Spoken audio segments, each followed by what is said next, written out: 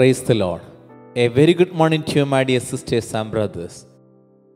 Today we learn a beautiful word of God from the letter to the Romans, chapter 8, verse 32.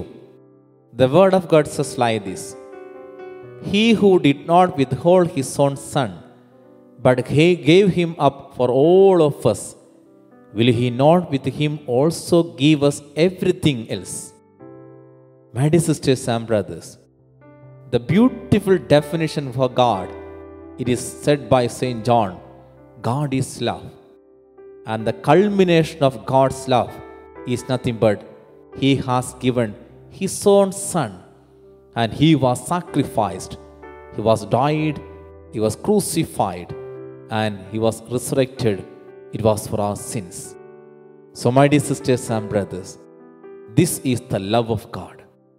He always take care of us. Maybe you feel that in the midst of the suffering, maybe in the family, in the community, if you feel the loneliness, if you feel that you are alone, believe that there is one for me, my God, who has given his own Son for the atonement of my sins. He loves me, he takes care of me, he is always there for me. Let's claim this word of God and offer all the intents of today. And we pray. Thank you, Jesus, for a new day. This is the day that you have made, and we will rejoice and be glad in it. Great is your faithfulness and your steadfast love, O Lord. I give this day to you and ask that you use me however you see fit. This day is yours. Everything that I am is yours.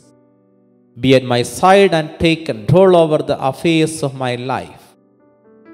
You are the God of the impossible, and there is nothing you cannot do. Fight all my battles and make me victorious in all that I do. Use me as an instrument of your love and grace. Guide my thoughts, words, and actions, and help me to be a source of kindness and encouragement to others. May your Holy Spirit be my constant companion, leading me in the path of righteousness. All praise and glory to you, Father.